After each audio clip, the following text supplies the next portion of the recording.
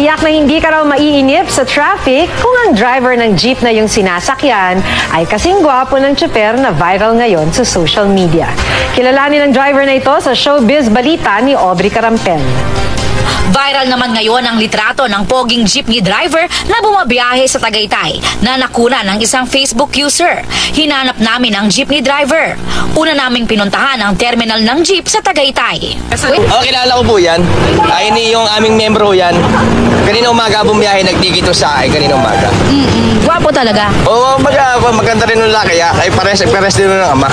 Ah, Oh, kasi yung ama ho niya, Tisoy. ah okay. Sabi marami daw nagkakagustong pasahero. Totoo ba yun? Ah, yung isang uno ay nagtatawag dito, naka-duty ako. Nakakarasan ng pasero.